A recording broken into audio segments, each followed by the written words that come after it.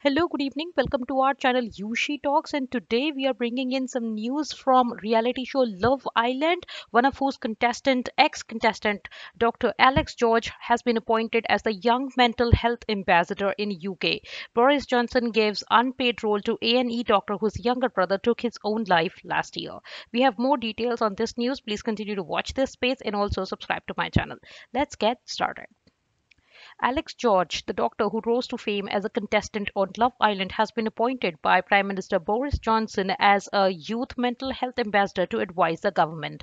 The A&E doctor whose younger teenage brother took his own life last year, just week before he was, uh, you know, due to start medical college, has been campaigning for better mental health provision.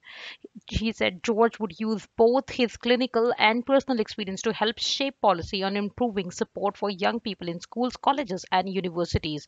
The doctor who appeared in 2018 series of the uh, ITV2 dating show will also raise the profile of mental health education and well-being in schools, Downing Street added. His appointment follows a warning last week from Anne Longfield, the Children's Commissioner for England, that mental health services do not have the capacity to cope up with the impact of COVID pandemic on children. George had posted on Instagram where he has about 1.6 million followers on New Year's Day that his number one goal is to help bring meaningful change to mental health education at schools across UK. The doctor's 19-year-old brother had killed himself in July.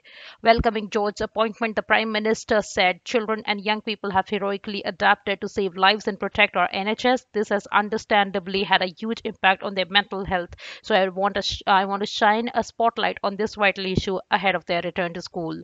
I'm delighted that Dr. Alex George will be working with us as we do everything in our power to improve people's mental well-being. So that's all we have in today's news in regards to Love Island's Dr. Alex George being appointed as the Young Mental Health Ambassador in UK. Please continue to watch this space for more details and also subscribe to my channel. Thank you for watching me and you have a wonderful day ahead. Bye-bye.